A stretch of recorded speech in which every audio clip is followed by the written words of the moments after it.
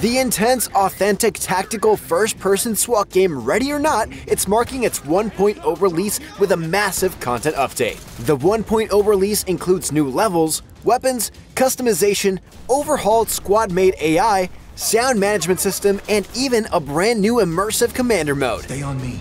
Right with you. Additionally, there's overhauls to existing levels, visual effects, UI, and much more. I want to see hands. So, whether you're a rookie or a Los Sueños PD veteran, here are 9 things you need to know before diving into Ready or Not.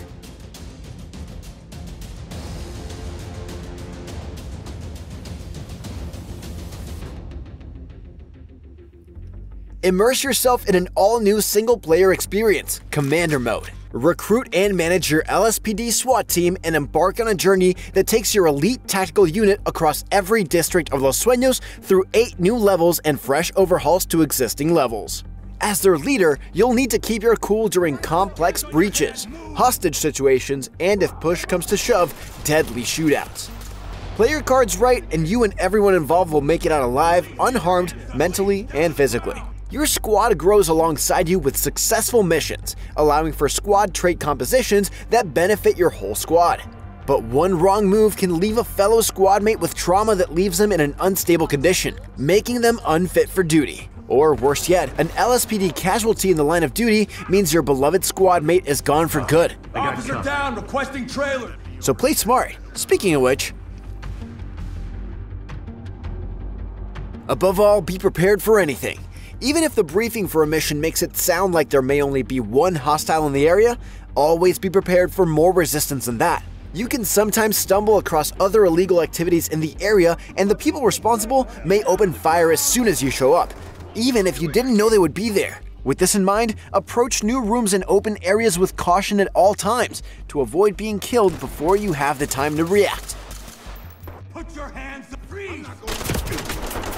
Ammo management is vital to successful missions. Pressing reload will swap magazines, but keep in mind that unlike many other shooters, each magazine will retain the ammunition that it had in it, rather than refilling the mag. This means that pressing R will reload your gun even if it has full ammo by ensuring there's one extra round in the chamber. You could also end up swapping back to a half-empty or mostly empty mag if you reload frequently. If you're unsure about your ammo count, hold R instead of pressing it to check the levels on all your magazines. You can also double tap R to discard your current mag for a quick reload.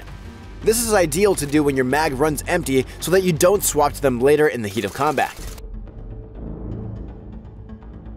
Your goal in Ready or Not is to control the situations you're in with as few casualties as possible.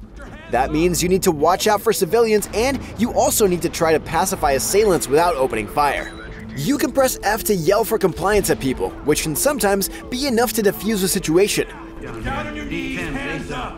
But if someone is failing to comply with commands, you have the option to melee them with B or carefully use an abundance of less lethal equipment following proper use of force. This can be a deciding factor that stops a firefight from starting if you're fast enough. Roger, entry team. Great work. Keep going.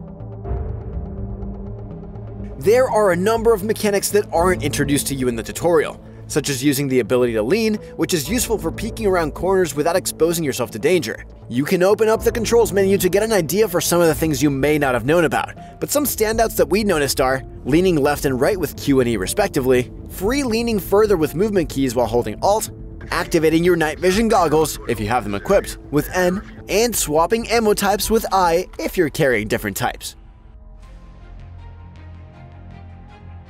On me, move. On you. You can play Ready or Not with your friends in multiplayer, or you can play in single player with a squad of AI teammates. Their AI has been completely overhauled in the latest update for the game, so if you played the game before and weren't impressed with what you saw, it might be worth giving your team another shot. Your squad is made up of four people, divided into two groups of two Red Team and Blue Team. Team, you to Move in and with clear. the mission. Confirmed. You can use the command menu to control your squad contextually depending on where you're aiming and have your team do things like open locked doors, Red team. clear rooms, or hold locations. Stop. Ready when you are. Your team will also do things automatically, like restrain civilians and bag evidence if they come across any. Talk.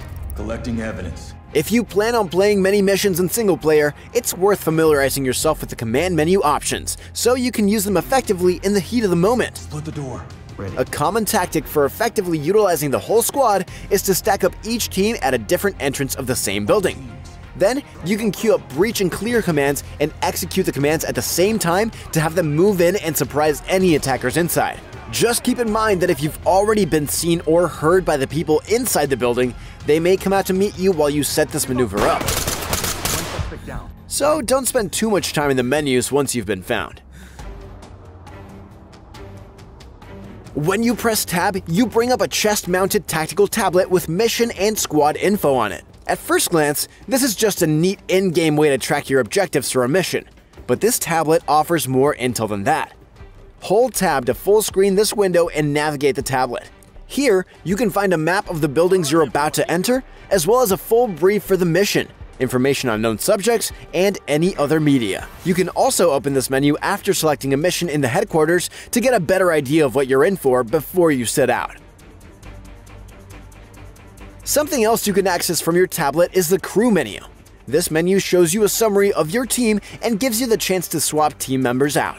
This is important to do regularly as it allows you to unlock each officer's unique traits which benefit you and your whole squad.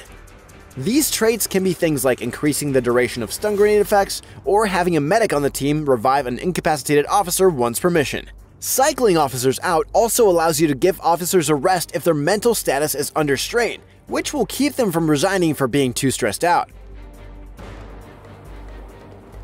Make sure you bring the appropriate gear to each mission.